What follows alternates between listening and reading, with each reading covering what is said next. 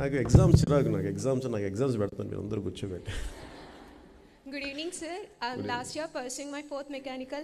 Firstly, it's my honor and privilege to have this opportunity, sir. Sir మీ లైఫ్లో మీరు చాలా better and bitter situations కూడా face చేసి ఉంటారు కదా సో వాటిలో మిమ్మల్ని ప్రభావితం చేసిన సంఘటన అంటే మొట్టమొదటిగా మీకు ఏం గుర్తొస్తుంది లేదు. అంటే అలా కదా అంటే ప్రభావితం చేసిందంటే అంటే ఒక మళ్ళీ చెప్పరా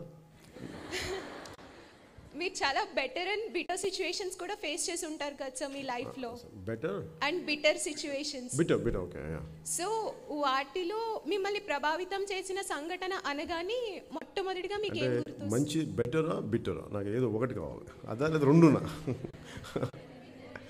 బెటర్ కన్నా బిటర్ సిచ్యువేషన్ మనకి మంచి ఎక్స్పీరియన్స్ ఇస్తుంది చే- కాబట్టి. కదా. అంటే నాకు చేదని కాదు కానీ నాకు అనిపించింది నేను బాగా చదవాలని కోరిక నాకు. చాలా చాలా చదువుకోవాలని కోరిక. నిన్న ఎవరితో మాట్లాడుతూ ఉంటే ఎన్ని ఎన్ని ఏ ఏవి మనకి ఎలా ప్రభావితం చేస్తాయి అని అనటానికి నేను చెప్పాను కదా నాకు పియూసీ రాయలేక వచ్చేసానని చెప్పి. దానికి ముందు నాకు బాగా చదువుకోవాలని ఉండేది అయిపోయాక విపరీతం డిప్రెషన్ గురైపోయాను. అంటే నా ఫ్రెండ్స్ అందరూ కాలేజీకి వెళ్ళిపోతున్నారు ఒకడు వైజాగ్ వెళ్ళిపోయి ఎంసీఏ మన డిగ్రీకి ఎంసీఏకి వెళ్ళిపోయాడు. నేను ఇంకా ఇలా కూర్చొని ఉన్నాను. అంటే మన మరి టీన్స్లో కానీ ప్రీ టీన్స్లో కానీ మన ఫ్రెండ్ ఒక సంవత్సరం ఆరు నెలల ముందుకు వెళ్ళిపోయిన మనం చాలా వెనకబడిపోయిన ఫీలింగ్ ఉంటుంది. ఇప్పుడైతే నా పది సంవత్సరాలు వెళ్ళిపోయిన సర్లే ఇంకా పది సంవత్సరాలు కదా అనుకుంటాం.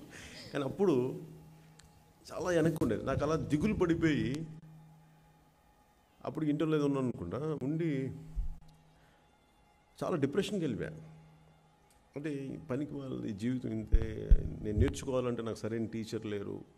అంటే ఒక డిఫికల్ట్ అంటే చాలా కష్టమైంది ఏంటంటే మనకి ఆపర్చునిటీస్ దొరకవు నేర్చుకోవడానికి సరైన టీచర్స్ కనిపించరు. నిన్ను అర్థం చేసుకునే టీచర్స్ టీచర్స్ ఉన్నారు. నిన్ను అర్థం చేసుకునే టీచర్స్ ఒక విద్యార్థిని కూర్చోబెట్టి ప్రేమగా లాలనతోటి అది నేర్పిస్తే మొద్దు వ్యక్తి కూడా. నేను చాలా ముద్దు మనిషి నాకు అర్థం కాదు. నేను చాలా వెరీ ఎలిమెంటరీ నాకు పెద్ద చదువు నాకు అంత జ్ఞానం లేదు. కానీ నేను ఎలా అంటే నేను కష్టపడ్డాక రెడీగా ఉంటాను. కానీ నాకు చెప్పే టీచర్ లేనప్పుడు అర్థం కాక ఏమైపోయిందంటే డిప్రెషన్కి వెళ్ళిపోయి నేను అయితే షూటింగ్ మైసెల్ఫ్ అంటే ఒక మా ఇంట్లో ఒక పిస్టల్ ఏదో ఉండేది. I said I want to kill myself అంటే ఎంత ఒక సెవెంటీన్ ఎంత ఉంటుంది అంతే బాగా డిప్రెషన్కి వెళ్ళిపోయి ఆ, ఒక పిస్టల్ ఉండేది. లోడ్ చేశాను. మా ఇంట్లో వాళ్ళు ఎవరు బయటికి వెళ్ళిపోతే ఇక్కడ పెట్టుకుని కాల్చుకుందాం. దట్ వాజ్ మై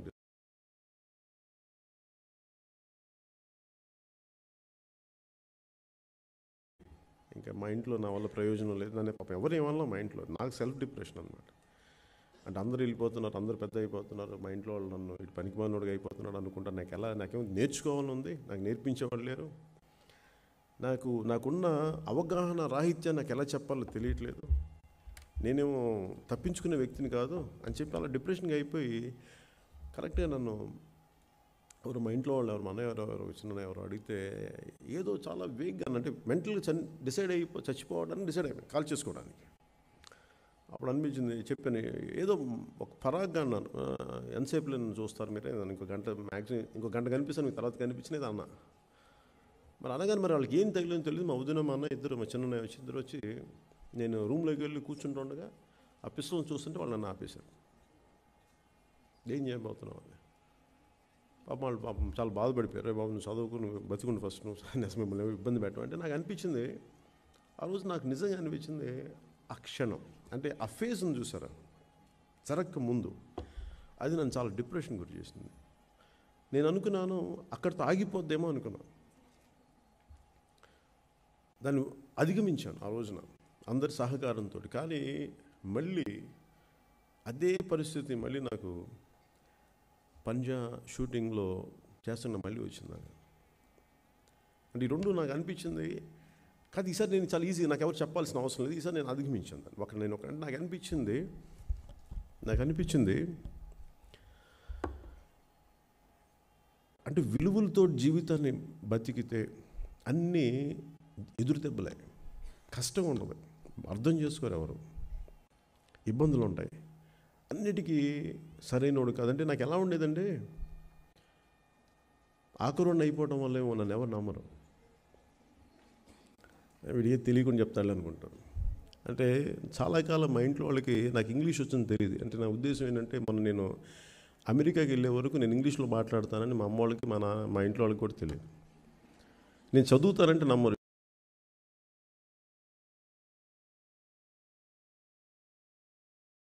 ఏమనిపించిందంటే ఒక పది పది సంవత్సరాలు ఫెయిల్యూర్ వచ్చింది. అంటే ఫెయిల్యూర్ అని నిజంగా ఫెయిల్యూర్ కాదు. నాకు ఎప్పుడు ఫెయిల్యూర్ అనిపించలేదు. మిగతా వాళ్ళు ఫెయిల్ అయ్యావు ఫెయిల్ అయ్యావు అంటే నేను ఎక్కడ ఫెయిల్ అయ్యాను బాబు? సినిమా ఏదో ఆడట్లేదు. నా పని నేను చదువుకుంటాను లేదు నువ్వు ఫెయిల్ అయిపోయావు ఫెయిల్ అయిపోయింటే. అలా నా పర్సనల్ లైఫ్ అంతా ఇబ్బంది గురైపోయి అర్థం చేసుకోలేని మనుషులు లేక చుట్టుపక్కల. మళ్ళీ ఒంటరితనం వచ్చింది. ఒకప్పుడు టీన్స్లో వచ్చింది వయసు వచ్చాక వచ్చింది.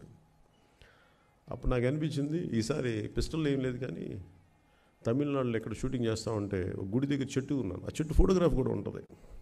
ఎవరు తీశారు నేను మరి? అది చాలా విచిత్రంగా అనిపిస్తుంది. ఫోటోగ్రాఫ్ నేను ఒక చెట్టుకి కాలు మడుచుకొని కూర్చొని ఉంటాను. ఆ రోజు నా ఆ ఫోటోలు నా అంటే నా కరెక్ట్ ఎవరు బంధించారు నా మూడ్ని? ఆ రోజు నాకున్న మూడ్ ఏంటంటే ఇంక జీవితం బతికానికి భగవంతుడు తీసుకెళ్ళిపోతే బాగుంది బతకలేకపోతాను ఈ భారాన్ని అనిపించింది.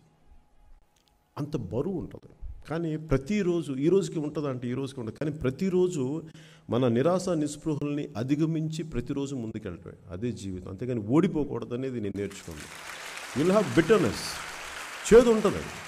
కష్టాలు ఉంటాయి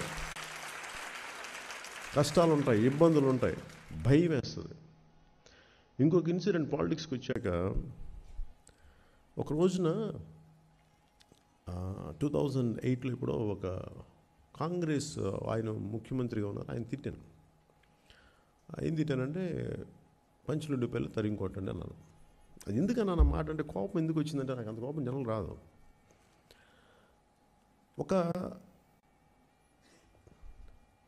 మన బస్తీ లాంటి ఉంది. ఓకే చాలామంది చిన్న చిన్న ఇళ్ళు ఉంటాయి అనేక మంది ఉంటారు. అది వాళ్ళ పార్టీ బిల్డింగ్ కోసం అని చెప్పి రాత్రి రాత్రి కోలు కొట్టేస్తే సరే నేను ఒక అప్పుడే ఫామ్ ఏదో యూత్ వింగ్ ప్రెసిడెంట్గా తీసుకున్నాను. లోపలికి వెళ్ళి చూస్తే అప్పుడే రా తెల్లవారుజామున అంటే నాలుగున్నరకి బదులు కొట్టేశారు. మొత్తం అది ఏరియా ఏరియా అంతా బదులు కొట్టేస్తే లోపలికి వెళ్ళి చూస్తే అప్పుడే దీపారాధన చేసిన అలాంటి కుందెలు పడిపోయినాయి. కొంతమంది అన్నం పడిపోయింది అని చూస్తే చూస్తాను. ఎందుకు దేనికి అంటే ఇక్కడ ఒక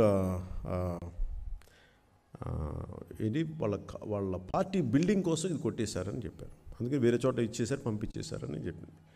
సో నెక్స్ట్ డే అక్కడికి వెళ్ళి చూస్తే అక్కడ ఒక పాపం పెద్ద ఆవిడ.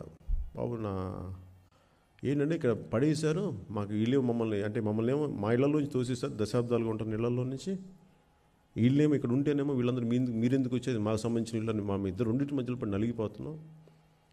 స్నానం చేయడానికి బాత్రూమ్లు నా నా ఆడపిల్లలు స్నానం చేస్తుంటే వీళ్ళందరూ బాత్రూమ్లు తీసి చూసేస్తున్నారు డోర్లు లేవు అని చెప్పి వాళ్ళ ఆడపిల్లని చూపించి నాకు ఇది చూపించి నాకు కోపం వచ్చింది. అందుకే అందుకు నిజంగా కోపం వచ్చింది. మీరు నిజంగా వాళ్ళని మార్చాలంటే సరైన ఇల్లు ఇవ్వండి.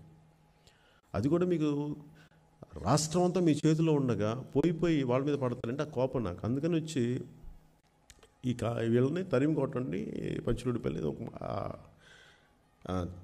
ఏదో ఆ బాధ కలిగి నేను అన్న అన్న తర్వాత ఏమైందంటే బిటర్నెస్ అంటే నాకు అనిపించింది. ఎలా ఉంటాయి ఉంటాయి ఛాలెంజెస్ అంటే నెక్స్ట్ డే అదే రోజు ఇంటికి వెళ్తే ఒక ఒక్కళ్ళు లేరు. ఎప్పుడు పొలిటికల్ పార్టీ జనం ఉంటారు. ఆ రోజు తిట్టగానే ఒక్కడికి కనిపించలా నెక్స్ట్ డే పార్టీ ఆఫీస్కి వెళ్తే ఎవడు కనిపించలా ఏంటంటే అందరూ వాళ్ళు వచ్చి మిమ్మల్ని దాడి చేస్తారంట. మీరు ఇలా అనేసారంట అంటే అందుకు అందరూ అవకాశాల కోసం ధైర్యంగా ఉంటారు కానీ నిజమైన ప్రతికూల పరిస్థితులు వస్తే ఒకళ్ళు ఉంటారని నాకు ఆ రోజు అనిపించింది. అంటే నాకు సామె ఒకటి గుర్తొచ్చింది ఒక ఒక line.